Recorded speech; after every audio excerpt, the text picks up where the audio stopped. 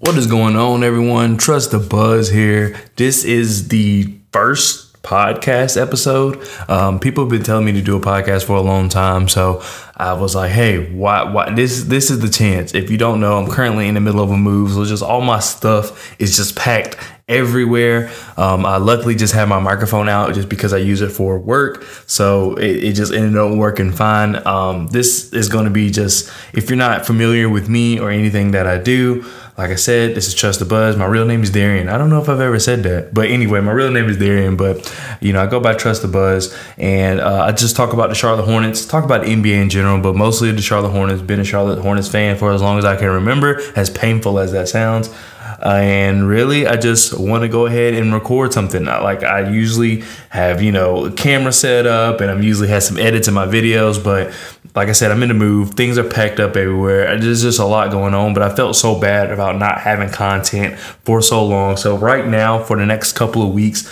it will just be easiest if I just did the podcast like this, and then kind of split it up and upload those videos to YouTube. So forgive me for kind of taking that approach because I know some people may not like that approach, but right now it literally is what works best for me. Um, I really don't even know how to start this, but yeah, it's just that's what works best for me, and that's just a life update.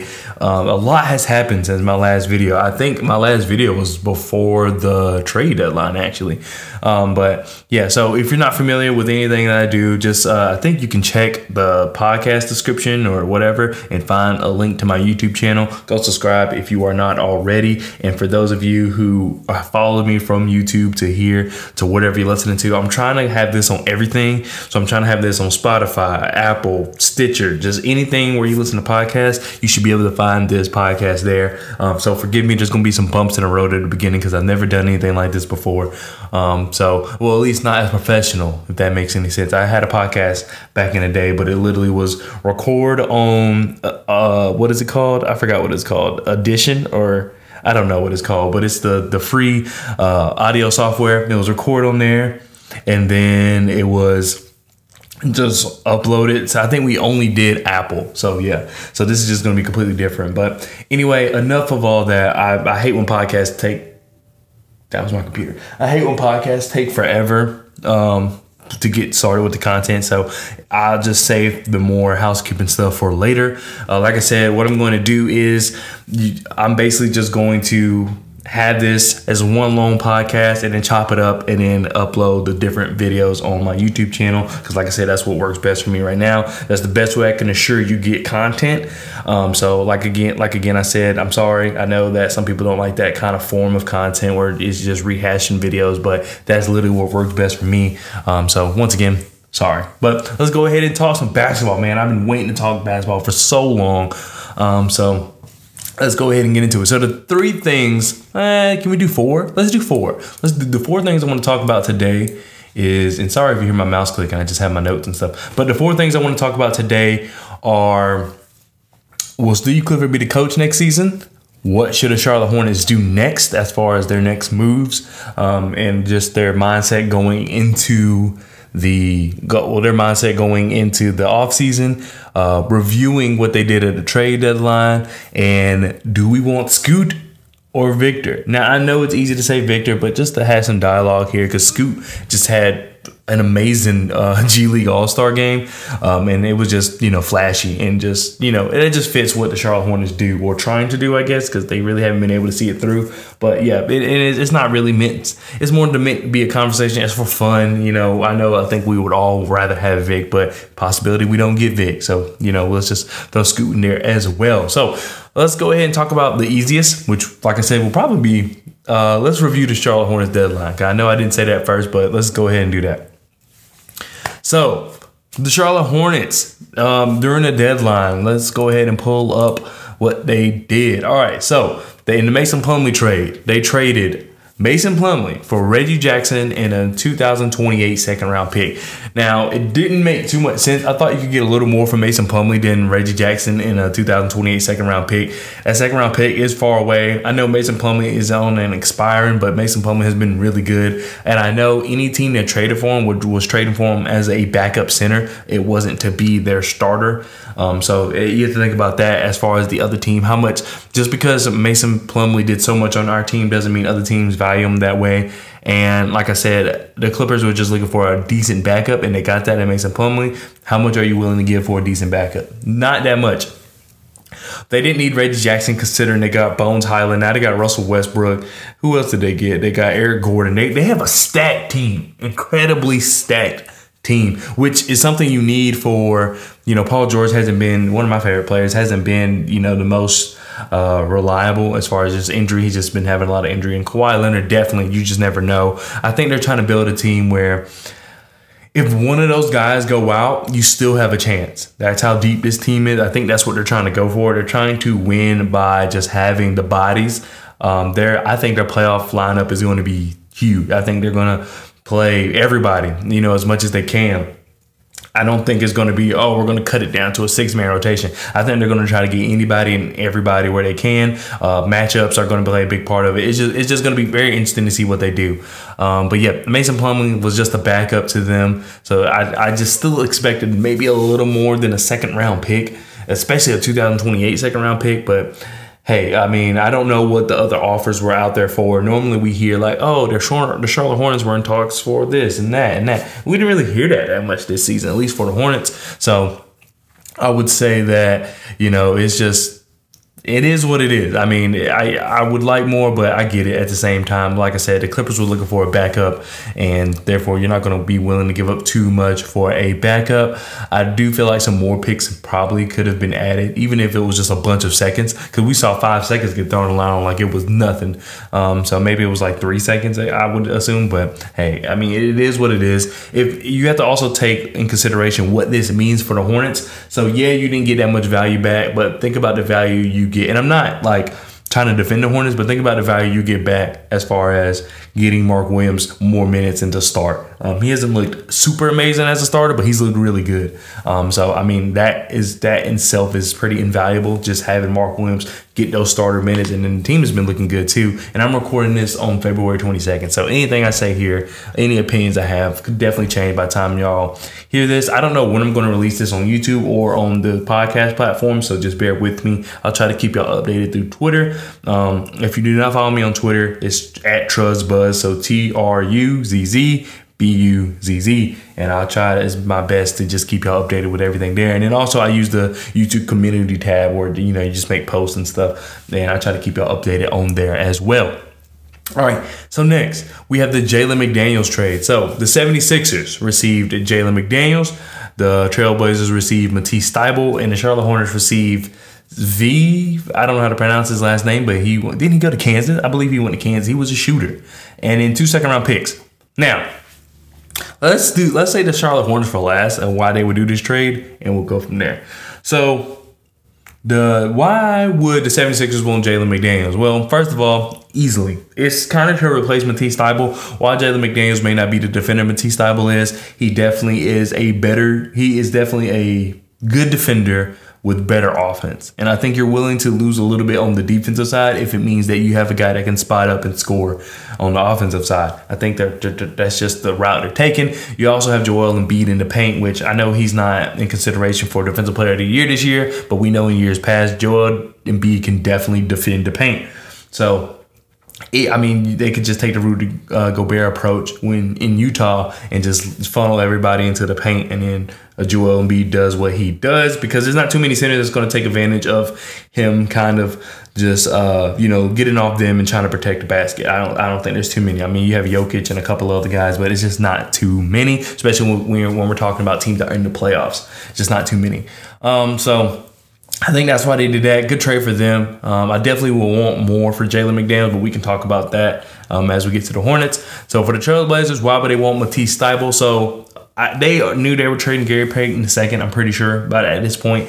And Matisse Thybulle is someone that is a defender. They have enough scoring. They have Anthony Simons. They have uh, Cam Reddish, who who's a pretty decent defender as well. They have Damian Lillard. They got all these guys that can score.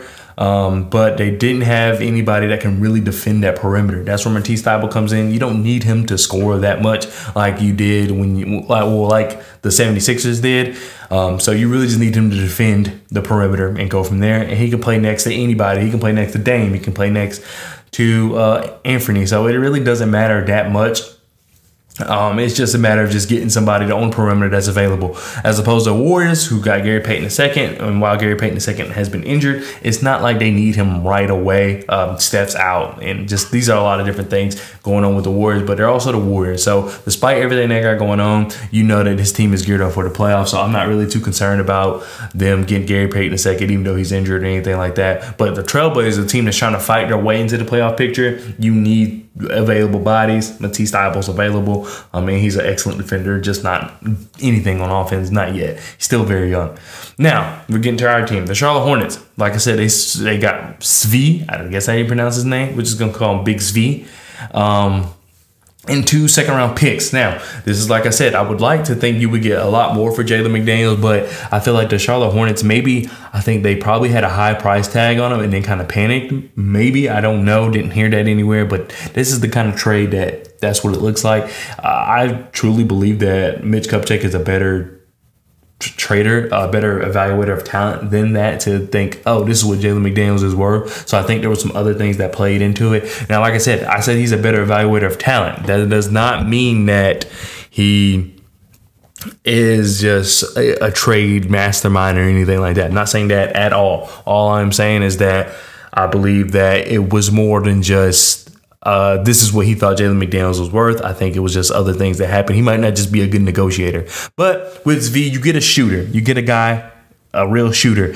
And I mean, I don't know if he stays on the team past this season. I don't. I don't really think so. But you get something. You know what I mean? You get a veteran, a kind of veteran guy, older guy at least, and that can shoot. And on this team, I've said it for a long time now. This team has a lot of guys that can shoot, but no shooters. V is a shooter. Uh, let's pull up his uh, percentages. Uh, Zvi, I don't know how to pronounce his last name, and I'm sorry that you know you're not able to see this. Like I said in my videos, you'll be able to see this, but it is what it is. And let's see. So a career shooter, he is a 30, what 36 percent three point shooter, which is pretty good. Um, you would expect him to be a little better than that. Um, so far with Charlotte Hornets, he's a 33, but he had 12 points in that one game right before All Star break, so that was good. Um, I mean, really, I think a lot of his like like let's okay, like one of his better seasons when he was 22 in Detroit in 2019-2020 season. He shot 40% from 3 taking 5 threes a game.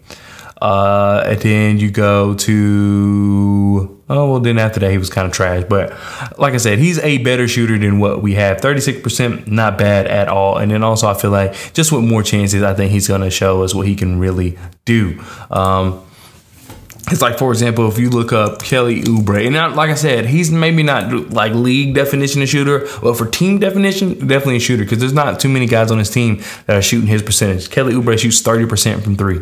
Uh, let's go to other guys on this team. Uh, what's the easiest way for me to do that from here? Uh, I forgot Kelly Oubre was drafted by the Hawks. That's something that is always funny to me. But anyway, we're going to the three point shooting on the team. All right. So your best three point shooter is LaMelo at roughly 37%.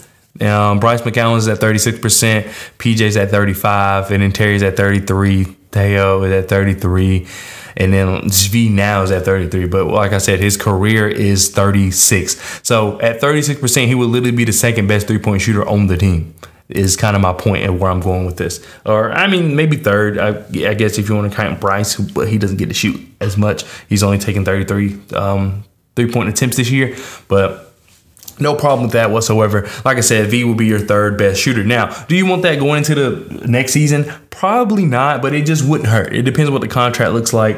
Um, you could see, I could see a place for him just deeper on the bench. He wouldn't get the minutes that he got. Like that, I think got 25 minutes that one game before the All Star break. I don't think he's getting that in the future, but what I'm saying is that you, you just have a guy that is able to shoot, and that's all I'm saying. I, I mean, I know there's better. They're probably be better out there in free agency, but for right now, for what we look at, for what we know, that's not bad to have a guy that can automatically come in and be your third best, probably second best three point shooter.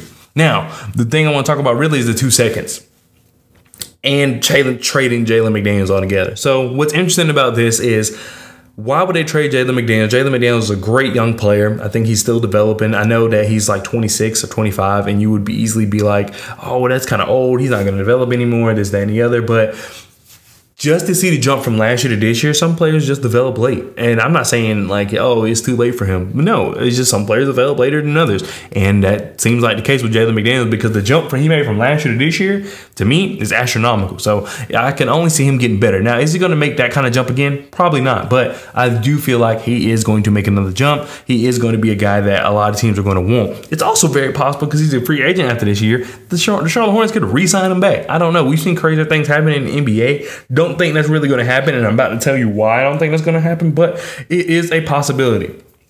Now, like I said, if you're if you're the Hornets, it was kind of do you choose between Jalen or do you choose between PJ? And some people are like, why can't you keep both? This is why you can't keep both because Miles Bridges is probably more than likely going to come back and play at the four. Miles Bridges wouldn't make sense at the three, even though he can play the three. Uh, but in the reality of it, whether you like it or not, whether I like it or not, Miles Bridges will be back. It just that's what it seems like. And if he does come back, when he does come back, he's going to play at the four. There's no sense of putting him at the three. To me, at least, just doesn't make too much sense. Um, also, some of that is considering who you have at the four. Having PJ Miles, everybody like PJ Miles, and then Mark at the center position. And this is just based on what we know, like no draft, you know, put into this it just doesn't make sense. Uh, that lineup, I know they did that lineup a little bit last year, especially with Gordon Hayward out, but in reality, I think PJ probably comes off the bench depending on who you have at the three, I mean, probably, I doubt they still start Gordon Hayward. At that point, Gordon Hayward's in the last year of his deal, and so therefore you don't you shouldn't feel bad about putting a thirty million dollar man on the bench. It is the last year of his deal. Um, you I see why they wouldn't do it before the last year of his deal because it's just a bad look. As for for the team, I don't care about Gordon Hayward, um, but for the team, it looks bad to have a thirty million dollar guy coming off the bench even though he barely plays. So I just foresee Miles kind of playing at the four. I could be wrong. I mean, I'm not saying it doesn't work. All I'm saying is that the more than like scenarios that Miles Bridges plays at the four, a better fit next to um, Mark Williams um, in a way. So I don't know. We'll see. I'm not. I'm not 100 percent sure on that, but I'm pretty sure that's why they got rid of Jalen McDaniels though, is because you would have a bunch of guys uh, kind of out of the logjam who all deserve minutes uh, in that position when you really don't want that. You kind of just want your, you're really, they're trying to find their starting lineup, and you can't really do that considering you got, you know, Miles Bridges, PJ Washington, Jalen McDaniels, and all that boned up down there. So I get it why they would trade Jalen McDaniels. I just think they should have got more, maybe even, maybe instead of two seconds at first, but if you think about it, they get their second back, I believe, even though I think they gave up a second, if I'm not mistaken. I probably didn't write that down, but at the end of the day, they get their second back, which is important considering that their second round pick is going to be a basically a late late first. Um, so I, I, I, guess if you look at that, they did get the first in a way, but it's not the NFL draft where the you know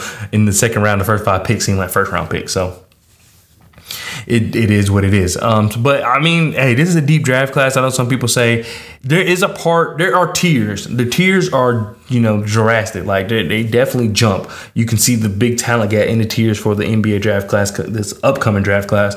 But there's still good talent all throughout the draft. So I can see it, and maybe if that's what Mitch Kupchak is thinking, we never know what Mitch Kupchak is thinking. But trying to get in the benefit of the doubt here, because like I've said before, I'm tired of being negative, and that's really what I've been. And that does it for reviewing the Charlotte Hornets trade deadline. Let me know what you think. Um, I guess go go to my YouTube video and leave a comment. Or um, I don't know. I was thinking about starting like a Discord where we can kind of talk about basketball and just y'all can give me you know insight on my on my podcast on my YouTube videos and we can all just chat it up in there and just you know maybe pitch me new ideas so I can provide better content for y'all. So maybe I'll do that in there. But then for the time being, I don't think you can comment on podcasts, or maybe you can uh, for the time being, go to my YouTube channel when I upload this and let me know what you think of the Charlotte Hornets trade deadline. If I had to give it a grade off top of my head, I would give it like a B minus maybe, um, because you did get something back for Jalen McDaniels and Mason Plumlee. I didn't like that, but like I said, you got to think about what it does for the team, and what it does for the team is give Mark Williams more minutes, who we've been hoping he would get more minutes, and it gives Nick Richards more minutes as well, um, because I think that we need a backup center. And then Kai Jones as well, hopefully can get some minutes here and there, but we'll see about that. That's a little more out the way. Now we're going to talk about uh let's see. We should talk about what should the Charlotte Hornets do next. So I'll probably cut the video right there, but what should the Charlotte Hornets do next? I have no idea. I think if anything, what they should do is figure out what they're going to do with Dennis Smith Jr. I think that he's a very good backup, but Theo Maledon is another very good backup, younger backup. Um, I would say more skillful, but just not the defender. And right now we don't have that many defenders, so I wouldn't be surprised if they kept Dennis Smith Jr. Love Dennis Smith Jr. by the way, um, but I think they need to figure out what they're going to do there. Um, his contract is up at the end of the season. Had to drink some water, but anyway, like I said, his contract's up at the end of the season, and I, I, see them bringing him back. I don't think there's anything in free agency that would stop them from bringing him back. There's nobody in free agency that oh, could take that spot. I think he's a very good backup. You don't really need him to score. Once when you have a fully healthy team, I don't think you need Dennis Smith Jr. to score like you do now. So, with that being said, I think that he's probably the best bet for having a backup. That needs to be figured out. Uh, starting shooting guard, I, I mean, obviously, that's going to be Terry. I mean, I didn't mention starting point guard, but we know LaMelo is going to be the point guard. Um, starting shooting guard, has to be Terry, I guess, for now. I don't like that just because I don't like the fit of Terry and LaMelo, but it is what it is for now. And this is, like I said, this is no draft. Um, you know, being talked about. We'll have draft episodes, but right now we're just gonna say we're going into the next season without thinking about a draft at least. Um, so yeah, Terry will probably be starting shooting guard, starting small forward that's where it gets tough. Like I said, you could put Miles there and then put Pete. Like I said, Miles more than likely will come back, but you could put Miles there and then put PJ at the four. Or you can maybe still start Gordon Hayward at the three, Miles at the four. Uh, PJ PJ will be backup, and then Mark Williams will be the center, and then backups in general would be Dennis Smith Jr. It would probably be Bryce McGowens. I think he should get some minutes it would be Kelly Oubre because I think if they didn't trade Kelly Oubre, I really feel like that means they're going to keep him. Uh, because I think after this season you would lose him for nothing. So there will be no reason to not trade Kelly Oubre if you don't plan on keeping him. Now, can Kelly Oubre price himself out of Charlotte? Very possible. But he said he wants to be there. They didn't trade him. I think that means they're really going to try to keep him. No problem with that. I just um, it didn't make sense because I feel like this hard reset for this team. But you add Miles, and then this is where we do talk about a draft, and then you add a really good draft prospect, you're back into trying to get into the playoffs easily. So I get that mindset. It just I don't see the vision right now, obviously, because we don't have Miles and we don't know who we're drafting. But if that's what you if that's your goal, then yeah, it definitely starts now with keeping Kelly Oubre and not trading him. So I 100% get it. Just I don't see it. Um, so that will probably be the team. And then like if we do want to throw into the draft, I mean, there's nobody. I mean, maybe Scoot, and we'll talk about that later. Maybe Scoot could take that part because Scoot is a. Uh, I'm trying to find a word for it. I would say Scoot's like an obnoxious defender. He's kind of like Dennis Smith Jr. He's just a pest. He's not going to be the guy to lock up everybody or anything like that, but he is a pest on defense. And we know a lot of players in the league do not like to be touched. They do not like to be just bothered when they're, you know, dribbling. And Scoot does that. He bothers you. He makes you uncomfortable. Like I said, he's not going to be the lockdown guy, but he's going to make he's going to make sure that your shot is not easy. And I like that next to LaMelo Ball more than Terry. Not saying Terry doesn't deserve the starter. Terry's bad at defending because if you look at advanced stats, which I know some of you don't care, but if you look at advanced stats, a lot of times Terry is put up against people he has no business guarding in the first place. So is that really his fault? Don't think so. Um, but I don't think you just automatically get Scoot and start him over Terry. I just don't feel like that's what the Charlotte Hornets will do. Do I think that's the right decision? Of course. But imagine I mean, Terry could be a glorified six man. I, I really think it would work. It, it just depends on his personality, what the team's willing to do. Um, also, it's just also, you know, Terry has a good, great personality from my understanding, but it's the fact that a rookie's coming in starting over you. And but either way, I think it would work if Terry comes in, if Terry starts, he starts. But there's a high possibility that he he probably will start and Scoot comes in off the bench. Like I said, I don't think that's right. However, I think that's what the Charlotte Hornets do. Um, but if you're if you're Scoot, you're okay. You're like, oh well, we got this rookie. You're already playing him off the bench. I know people were saying that about LaMelo, but Scoot would be literally a glorified six man, where he's basically a starter.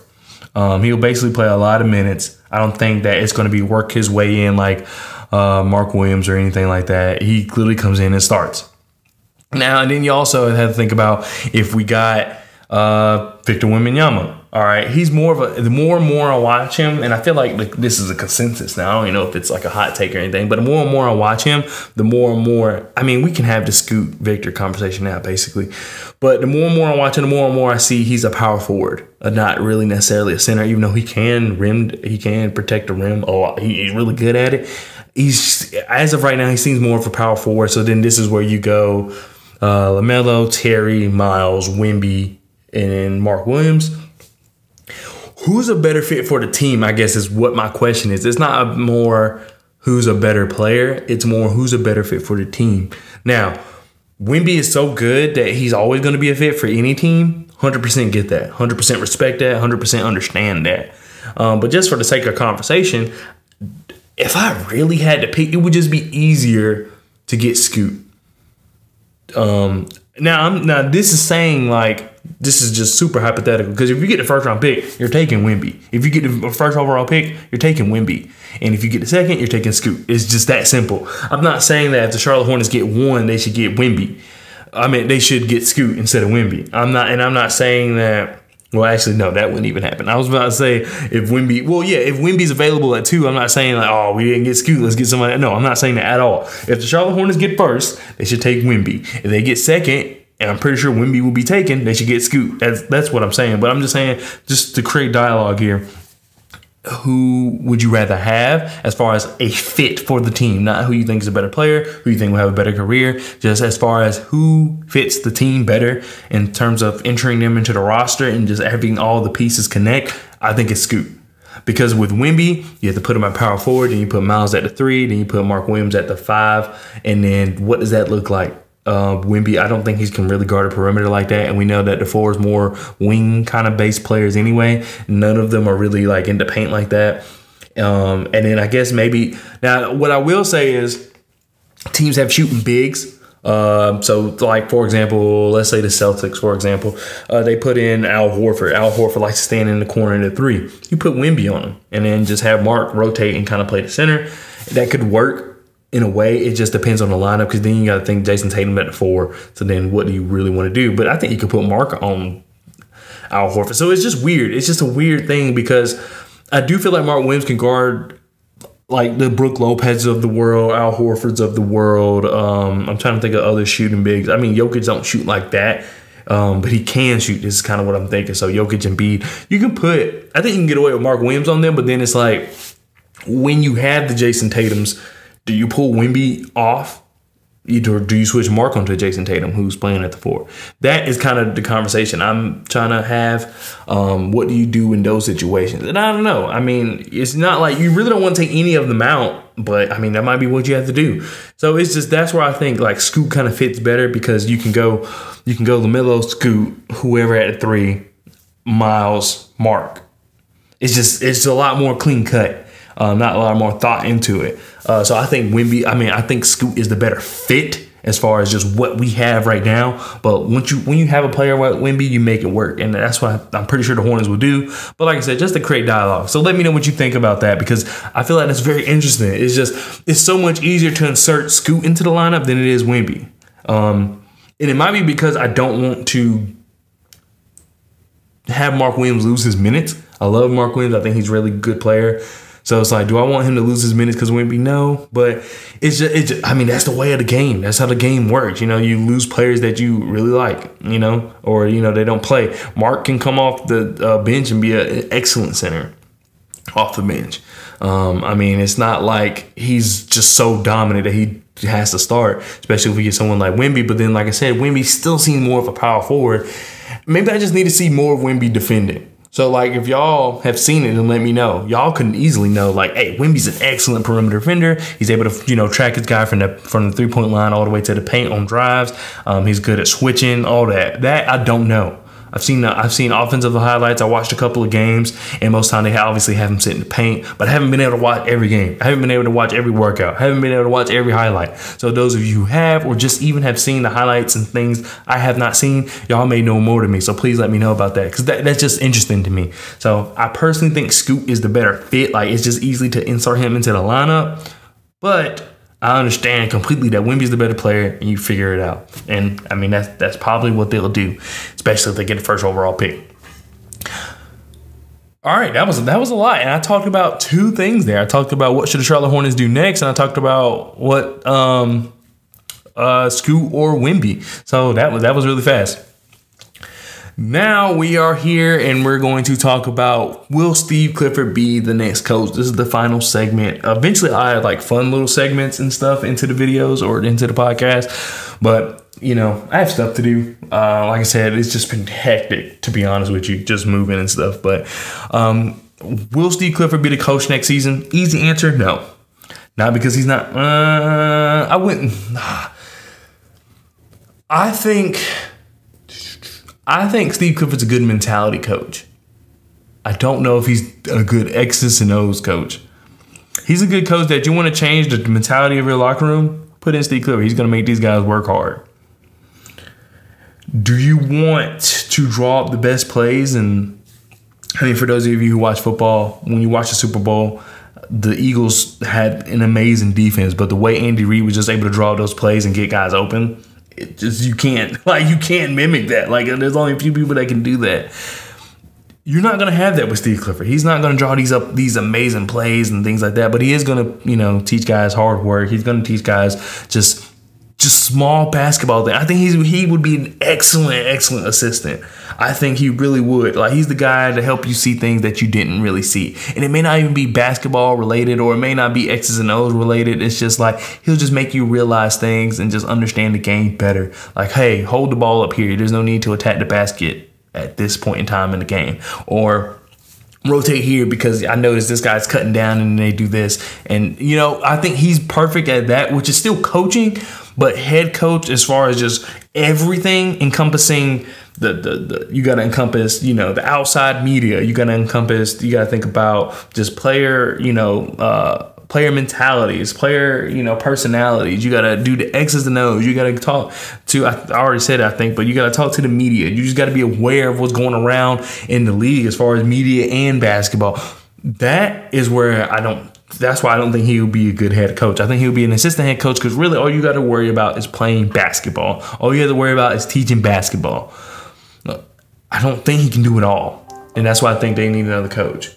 Um, that, that's kind of like my point on that. But anyway, that was very quick. I mean, I, like I said, the short answer is no. I think he would be an excellent assistant. Now, who do I think should be the coach?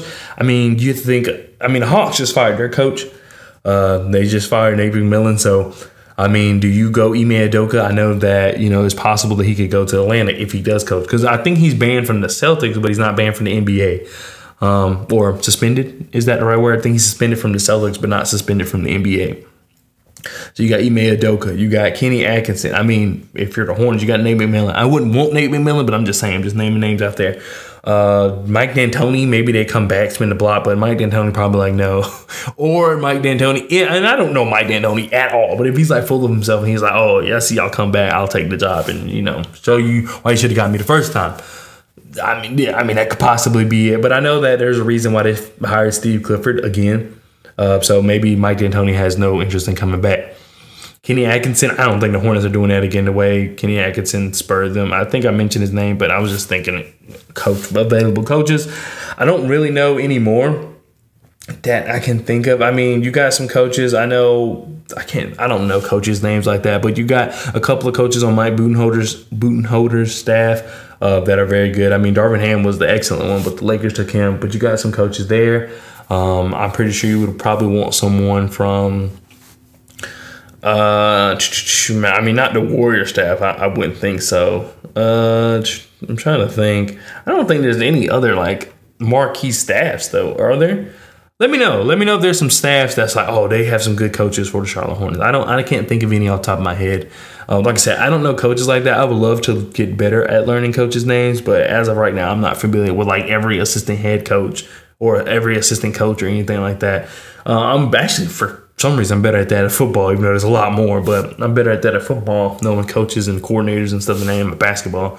Um, but I guess maybe because it's more prevalent. Like in football, it's very like, oh, you got to know the OC and the DC and the and the, and the running backs coach, quarterbacks coach, all uh, pass game court. You got to know all these coaches. Um, but in basketball, it's really like the head coach and then maybe the top assistant, and then that's it. You don't really need to know anybody else. Um, and even then, it's not like the top assistant gets that much credit because like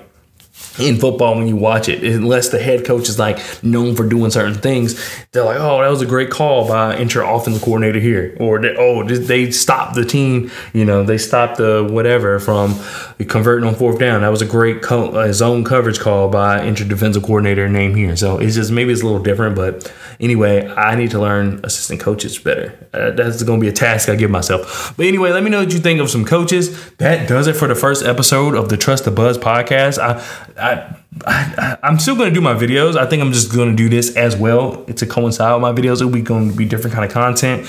I'm also going to start writing for the Hornets lead. So if you don't follow them on Twitter, go ahead and do that. I'll put that in the description down below. Um, thanks, shout out to the guys at the lead uh, for just allowing me that opportunity to, I mean, to just grow my writing. And they, st- you know, they were cool. They were like, you can still do what you do, just help us do what we do as well. So, of course, I took that opportunity. I also got something else coming up that I don't want to tell y'all about yet, just because I think the meeting for that is today, actually. So I'll probably give you an update on that and kind of see where I stand on that in the next episode. I'm thinking of doing like maybe one. Should I do one pod a week, two pods a week?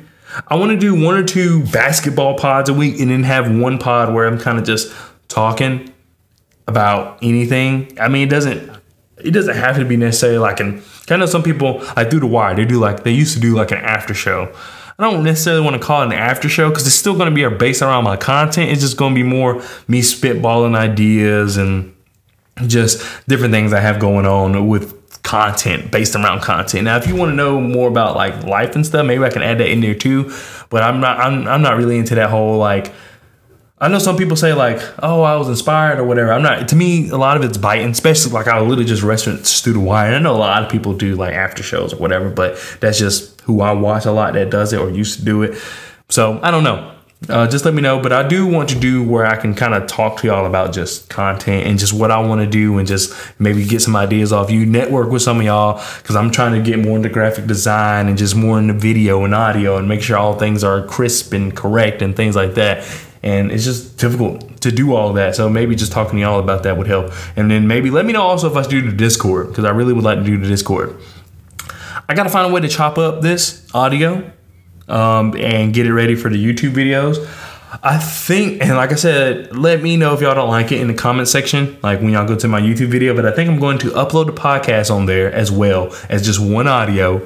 And then I'm also going to cut it up and so you can see the different sections as well all those different videos. But then also once i get settled i'm still going to do the videos where i'm on camera and i'm showing y'all stats and we're doing things like that as well. So i just have a lot of content planned. I literally just got to get settled. One of the most difficult things i've done in my life so far is selling one house buying another one make sure the other house is settled while still living in the new house and trying to make sure you, you know it feels homey doesn't want to you know you don't want to move into a new house and make it feel like oh i basically didn't go anywhere um, or made an upgrade or anything like that. So it's just a lot going on. So please, please forgive me because I, I, I, man, I can't tell you. Like I've been telling my wife, like I'm sick. Like that's how bad I want to make content and just you know talk more hoops with y'all. But it's just been almost impossible to find the time. Uh, just with so much going on, but hopefully that will be over soon and I can just do more videos. I don't know when the next time I'll do like a video where you see my face, but I hopefully can do a lot more of these um, in the future and just a lot of these are going to be coming out um, until I can get finally set up. Because right now my room is pretty much empty. I mean, I got a couple books I literally just bought. I'm getting into like reading a lot more now. I used to just kind of read here and there. Um, and then I got like a book bag full of camera gear without the camera. Stupid of me. And then I have like a box with my PlayStation in it. And then I have like my router and stuff in here. And I think that's it. And then like my work stuff. So it's just it's just there's nothing in here. There's nothing in here. There's no setup and just things like that. So like I said, just bear with me with the content. I actually kind of like this podcast thing. I can kind of ramble and not feel bad. But anyway, I am done rambling. Uh, thank y'all so much. I really appreciate that. Uh, like I said, I'm recording this on 22nd of February. So hopefully I can get this out maybe Thursday. Maybe that be my release day. I don't know. We'll figure out schedules later. Now I'm just gonna if anything, I'm just make sure I upload weekly maybe twice a week, but I have no idea about like days. Like you're just gonna get them when you get them. But if anything, you can almost guarantee that I will have two episodes for you. So anyway, once again, maybe not this week though, because I started so late because today's already Wednesday. We'll see. Um, but anyway, thank you so much, and I really appreciate it. And I'll see you guys next time. Peace.